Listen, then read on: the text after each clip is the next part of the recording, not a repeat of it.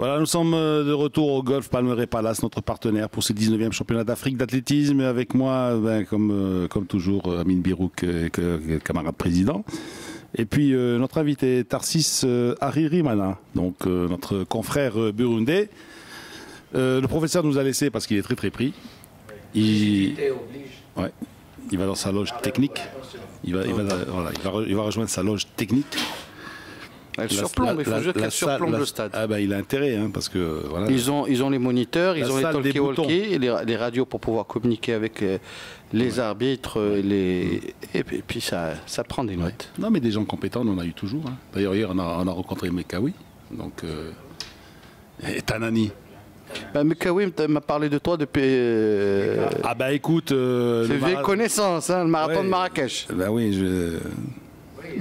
C'est pas moi de le dire, mais.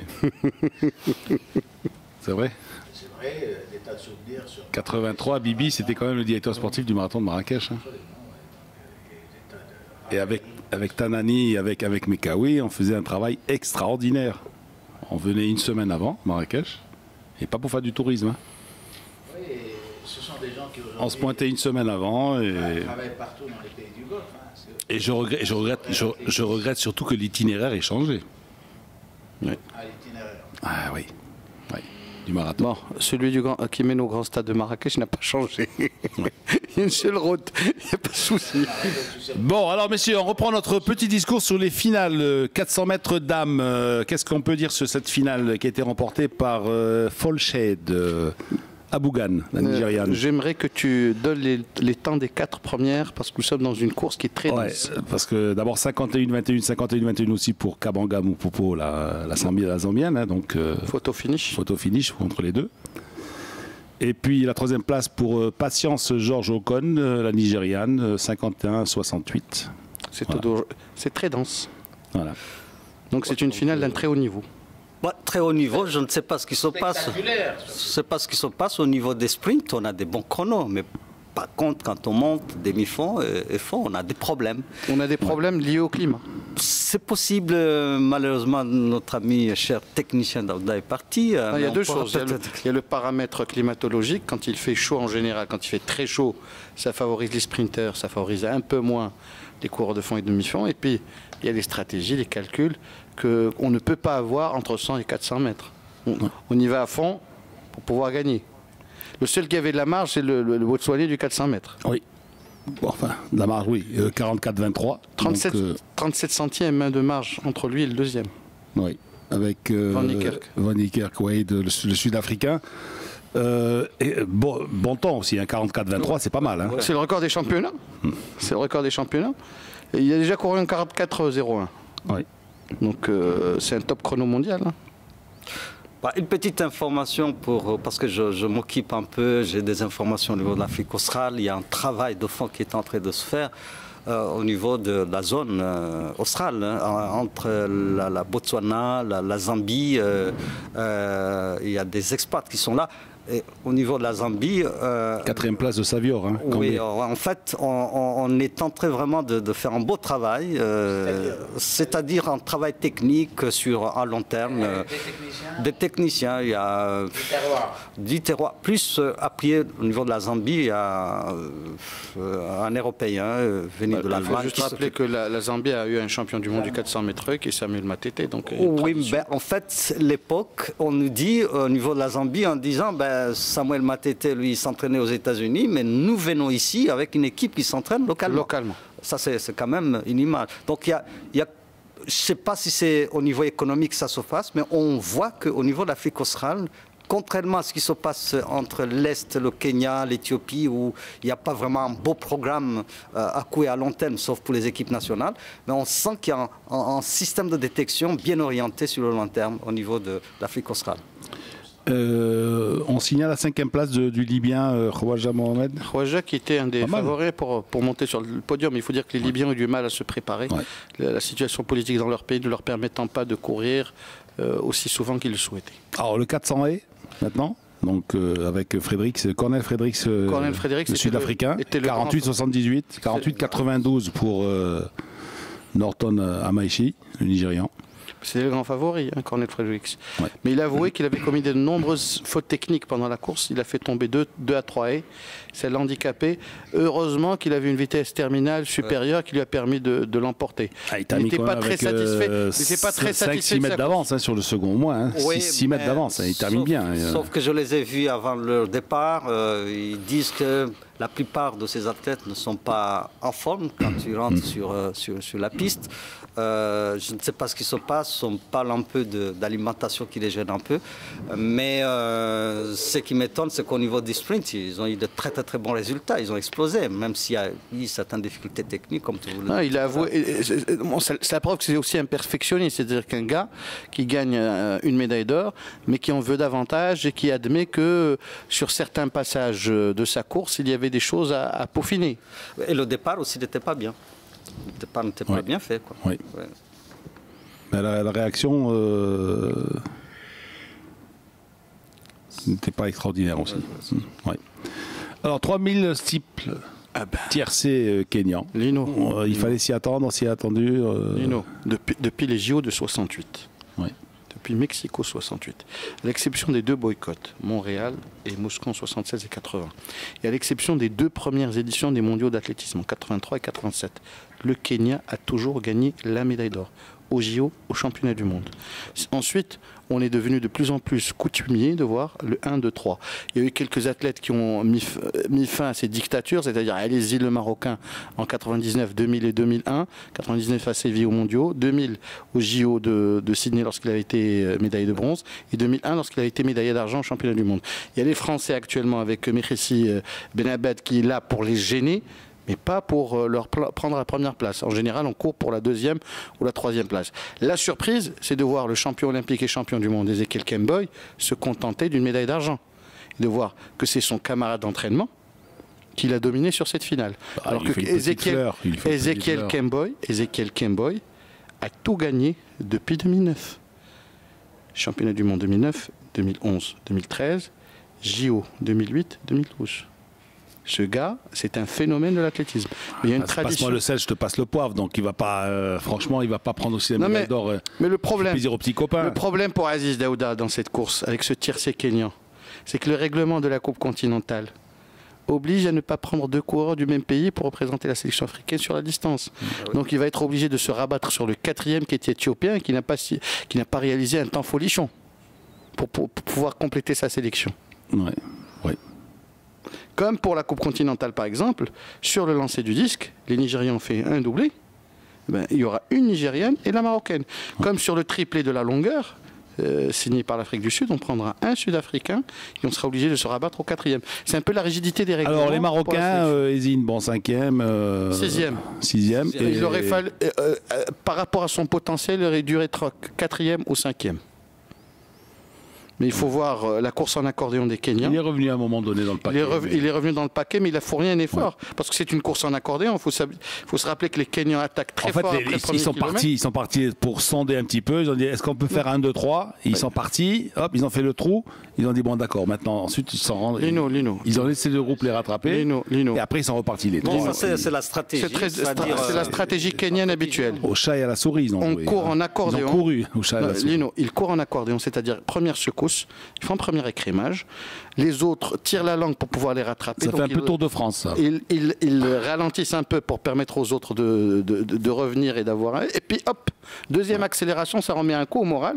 Zine n'y a cru que parce que le Tunisien qui a fini cinquième, à un moment rattrapé le paquet. Amor Donc, Yahya. il- donc, donc il a rattrapé, euh, il, a- il les a rattrapés, mais on savait que si on arrivait compact, sachant que ce n'est pas un finisseur, il n'aurait aucune chance de gagner une médaille. Bah, ce Bon. qu'il faut faire pour le Kenya, c'est chaque fois, ils attaquent euh, à 50 mètres de la rivière. Euh, ils, ils- ils partent et, lorsque tu, tu- tu- tu essaies de les suivre, tu es aussi cassé par ce franchissement, de, de tomber dans la rivière. c'est la stratégie. C'est la stratégie qu'ils font. Et, je pense là, euh, c'est- la, la stratégie qui J'ai l'impression, j'ai l'impression que tout, le- c'est tout le monde le sait, hein, c'est un peu comme le dribble de Garincha. hein. Tout le monde le connaissait, mais tout le monde tombait dans le piège. La vallée du Rift a toujours donné de bons coureurs de des steeplechasers. Je pense que le fait que ce soit des bergers, des chasseurs, que ce soit des gens obligés de courir quand ils sont jeunes, de franchir des obstacles, etc., ça les aide. Ensuite, avec l'entraînement, la technique, technique et tout ça, il y a un, moment où ils, où ils, ont une marge par rapport aux autres. Hein. Une énorme marge. S'il y a une distance que les Kenyans ne peuvent pas perdre, championnat d'Afrique, du monde ou Jeux Olympiques, c'est 3000 steeples. Après, tout est possible du, 800 ou 10 000 mètres. Jawad Shemlal, Soufiane El-Bakali. Soufiane El-Bakali, c'est un jeune qui vient de terminer quatrième au championnat du monde junior. C'est un junior première année. À Eugene, il a raté de très peu la médaille, donc il est là pour s'aguerrir et pour apprendre. Euh, je dirais un peu moins de, de, parce que ça fait longtemps qu'il est en équipe nationale. Donc euh, c'est peut-être une des déceptions avec Zine. Éternel espoir. Éternel espoir et à un moment ou un autre, les éternels espoirs, quand ils ne confirment pas, il faut, vaut mieux faire confiance à des jeunes, euh, histoire qu'ils s'aguerrissent. À des espoirs tout court. Oui, cas de Sofiane Bakali. Bon, messieurs, saut en longueur d'âme finale, donc avec un doublé nigérian. Eze Brumé et Shinazoum euh, Amadi. Le Nigeria est habitué à gagner cette médaille. 6,50, 6,40, 6,25 pour la Camerounaise euh, Joël Boumi. Et encore, Ogak Paré n'a pas sauté. Parce qu'elle était capable de faire doubler 100 et longueur. Et encore une fois, sur cette distance, euh, on est déçu par les Sud-Africains qu'on ne voit pas sur cette distance. Carla Maré, Carla Maré qui termine à la 7 place. Hein. Et je dirais, euh, les Marocains sont 9e et 10e. Oui, ouais. 9e, 10e, euh, Jihad Barchi et, Jmash Naik. Jmash Naik, on risque de retrouver euh, proche du podium sur le triple saut, parce que c'est un peu... 5,94, 5,85 pour Jmash. Jmash Naik s'est préparé pour le, le triple saut, c'est sa spécialité. Les deux relais, messieurs, le 4 x 100 dames, d'abord. Nigeria, Côte d'Ivoire, Ghana. Logique. Il n'y a, rien à dire.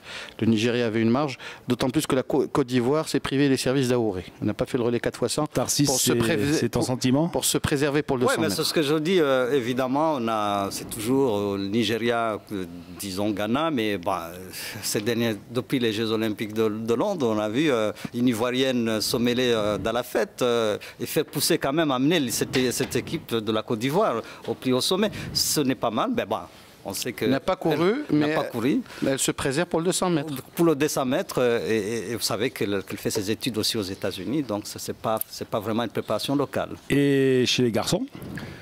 Bah, chez le garçon, je pense que c'est ce qu'on disait tout à l'heure avec Daouda. On a l'impression que certains pays sont en train de monter, un bon travail qui est en train de se faire par le Kenya. Je regrette de ne pas avoir euh, certains athlètes kenyans sur le, disons le, 400. Bah, en fait, euh, la Zambie qui est là, on essaie en fait de préparer, sur, de, faire monter les athlètes sur le 800 avant de passer sur le, 400. Le Kenya est, tristement affecté par son absence au niveau international sur le 4x400. Parce que vous savez qu'à Barcelone, ils avaient gagné une médaille. Mais ça dit, on a l'impression que quand tu discutes avec les techniciens kenyans, ils te disent qu'il faut commencer ce qu'on avait fait euh, il y a l'époque, travailler les, relais, euh, les 400. Et je pense que d'ici euh, deux ans ou trois ans, vous allez voir une équipe de relais kenyane, disons, euh, au JO. Et pour revenir par rapport au Nigeria, il faut juste dire qu'il y a M. Maurice Green qui s'occupe de l'équipe du Nigeria. Donc d'une façon ou d'une autre, ils ont recouru à un savoir au savoir-faire de quelqu'un qui a été multiple champion du monde et champion olympique pour pouvoir. Ça, rappelle ce qu'avait fait euh, Lee Evans lorsqu'il était venu au Nigeria dans les années 80, fin des années 80, début des années 90, et qu'il avait permis de booster le, sprint nigérien avec déjà mm. des figures euh, sur 100 et 200 mètres et une certaine Mary Onyali. Le Nigeria avec son relais 4 x 100 féminin, a été médaillé olympique avec Lee Evans. Qui, était, qui avait fait aussi l'Afrique de l'Est hein, et avant d'aller au Nigeria. C'est pas comme les Argentins qui ont pris Sabella pour les entraîner au mondial. Alors, messieurs, euh, on va parler un petit peu des finales d'aujourd'hui. 17h30, le marteau. Marteau, messieurs. Bah, je ne connais pas les engagés, mais bon, euh, là, on est. Euh, on est dans une spécialité sud-africaine. Sud-africaine, oui. Ouais. Un podium sud-africain, non? Doublé sud-africain? C'est possible, c'est possible, mais c'est triste de ne pas encore avoir, voir euh, un pays comme l'Égypte se retrouver sur. L'Égypte, on risque de la retrouver au, javelot. Au javelot Alors, avant de parler de javelot, la perche. Alors, 17h30 le marteau, 17h40 le début de la perche, messieurs? Shaori. Ouais, ça Champion d'Afrique en titre il y a deux ans et qui, qui sera à domicile. La mesure, mon cher ami. ah bah oui, il, aura la, il, aura, il, aura la pression. La mesure. Non, non mais euh, quelle mesure? Quelle mesure? Sera entre 4,80 et 4,90 D'accord. Dépassera pas. 4,80 c'est quoi? C'est les juniors qui sautent ça c'est le son en hauteur, si tu veux. C'est les femmes qui sautent ça, je crois. Non, eh 4,80. Elles sautent combien c'est, euh 4,80, ça, ça veut Notre, dire. notre- que, notre bon, c'est copine la- russe, elle saute combien? Quand, quand on analyse le championnat de France, euh, ça, ça, ça, ça dit ce que ça dit. Quoi. Non, mais ça dit que c'est une Ouais. spécialité. Il y avait au Kerbrits, Ouais. à un certain moment, le Sud-Africain qui, était, qui, qui approchait des 6 mètres. Et les Sud-Africains ne s'occupent plus de ces di- di- disciplines, alors qu'ils avaient eu quand même des médaillés euh, Ouais. au championnat du monde en 95. Le triple saut messieurs va débuter à 18h30. Et là, on va voir les Nigérians. Mhm. On risque d'avoir les Nigérians et les Sud-Africains. Ouais. Triple saut longueur, il faut qu'il y ait un- minimum de vitesse. hein. Ouais. Alors le 400 mètres, messieurs, à 19h40. 400 mètres. Un espoir de médaille pour le Maroc, Haït Mbarki. Hmm. Elle a été vice-championne d'Afrique euh, il y a deux ans. Euh, attention, les Sud-Africaines sont fortes. Elles ont gagné au meeting Mohamed VI d'athlétisme. Hmm. Et on risque de les voir euh, occuper le devant de la scène. Voilà. Ensuite, le 110 et à 20h. On a vu les Nigériens Ouais, au top. hein. Nigériens, euh, On les a vus au top. Le, le dame. 20h05, début du concours. Ouais, ça- d'homme. Ça vous dit rien. J'ai bien compris. ça- ça- c'est- Le 10 000 dames, allez, le 10 000. Ah bah c'est 20h30. euh, le tiercé, euh, Tiens, c'est quoi? deux Éthiopiennes, une Kenyane. Voilà. Minimum. Bah, Je ne sais pas quelle tactique vont, euh, que, que les Kenyans préservent aux Éthiopiennes, euh, aux Éthiopiennes par Je suis déçu quand même, Tarsis, par cette équipe du Kenya. C'est-à-dire qu'ils ont amené des seconds couteaux. Et l'impression, c'est qu'ils ont fait un pénal- ils- Ils ont brillé au jeu Un du penalty, vous voulez dire Ils ont fait l'impasse. Ils ont fait l'impasse sur ces championnats. J'avais compris d'en faire un penalty. Parce qu'à part le 3000 steeple, on les a pas vus sur 10 000 mètres messieurs. Ouais. On les a pas vus sur le 5000 mètres Le dames. 800, ils, ont- ils ont loupé le Ils ont loupé le coche sur le 800. Ouais. Et ils n'ont plus que le 1500 pour se rattraper. Ouais. C'est un Donc, euh, c'est un- problème pour le Kenya qui est en recul hein, au classement des médailles, euh, qui est dominé par le Nigeria et l'Afrique du Sud. Et, et puis il y a l'Éthiopie qui sont, qui sont sur les trois premières positions. C'est un programme très compliqué euh, cette année pour le Kenya avec les meetings euh, et tout ça, surtout avec, qui viennent Les Jeux du Commonwealth. comme Quand, tu- on voit que, par exemple, Rhodesia a fait l'impasse sur le championnat d'Afrique, alors qu'il était le tenant du titre, on, on peut se dire qu'à un moment ou à un autre, il faut- ils ont décidé de ne pas courir plusieurs livres. Encore que lui n'est pas toujours en forme. Ah, mais il a été battu encore par des- Amos à Édimbourg. Bon, messieurs, vous allez reprendre votre souffle, moi aussi, hein quelques, secondes, quelques secondes, hein, quelques secondes, quelques minutes. Parce que c'est vrai qu'en été, il y, a moins de, il y a moins de conseils pour les achats que, que d'habitude. شوف ذاك الاخ فين وصل واش جاي ولا ما جايش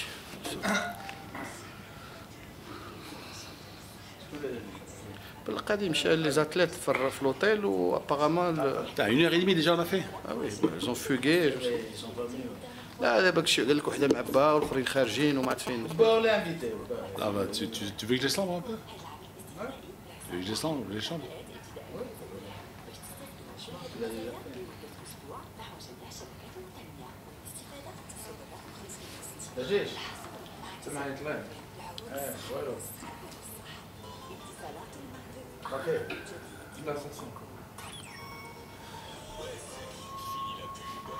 c'est une victoire à la Pyrrhus, comme on dit.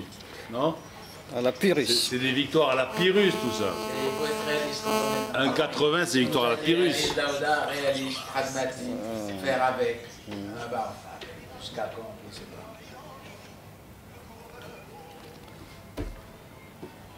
Oui, tu sais, Radin. Quelle musique Ricardo Allô Bah, On a compris qu'on a des cheveux. hein. Hein? La musique colle, on a des, des cheveux blancs.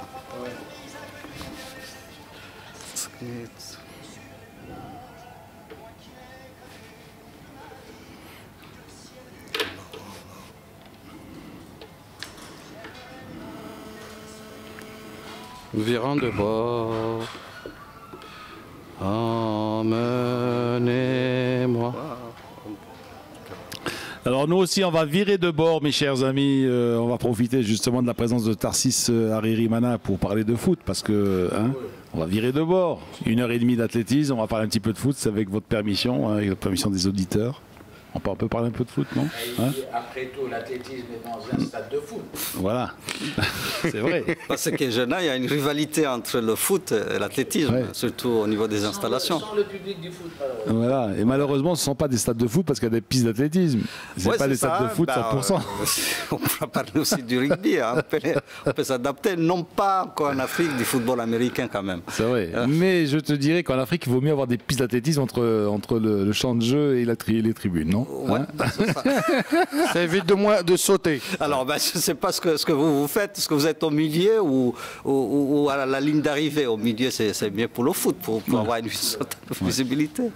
Y a pas, euh, Alors, Tarsis, tu es un petit peu euh, camarade président. On m'a dit que tu étais euh, l'historien du, Non, ce que je du, suis en du- train de du faire. sport africain. Non, ce que je suis en train de faire, c'est que je, je travaille sur, euh, sur une histoire assez passion- passionnante. C'est- C'est c'est- c'est l'Afrique et les Jeux Olympiques. Ça, Ouais. ça- ça, c'est important et malheureusement, c'est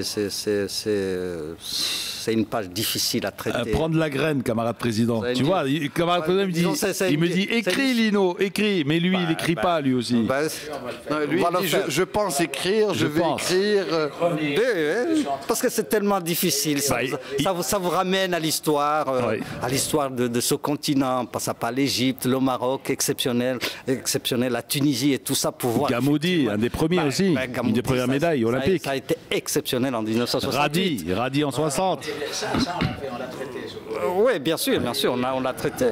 Là, Là, c'est très proche. bien, il y a Radi, mais mais mais il y a, il d'autres. Et il y a les Égyptiens de- à partir des années 20. Ouais, bah, Ah ça, oui, parce que par sûr. exemple, Les oui, haltérophiles. 1928. hein. Mais je pense que la première participation africaine remonte euh, à Saint-Louis en 1904, parce qu'il y a eu des matelots et, et je constate que les Sud-Africains qui débarquaient sur, euh, sur, sur, sur, sur, sur, euh, À Saint-Louis à Saint-Louis, euh, on les a pris comme ça, ils, ont, ils, ils sont allés participer aux Jeux Olympiques. Parce que Alors, on appelle- alors, on mis une tenue, ils ont pris un drapeau, ils, ils ont décroché le drapeau qu'il y avait Parce sur le bateau. Le, culturels, on peut- le pavillon qui était sur le bateau, il l'a emmené au stade. dans le stade, donc ça, c'est, il y a des Sud-Africains qui, ouais. qui ont- c'est le- le- les premiers qui ont participé à Et puis il y a eu les la vague C'est des beau l'histoire du sport, c'est- c'est c'est- Et c'est surtout magnifique. L'histoire du sport africain, dis donc. Oui. Là, tu sais, il n'y a pas tellement d'historiens. Et quand tu dis historien, je ne dis pas journaliste. je dis Bien sûr, bien sûr. Ouais, ben,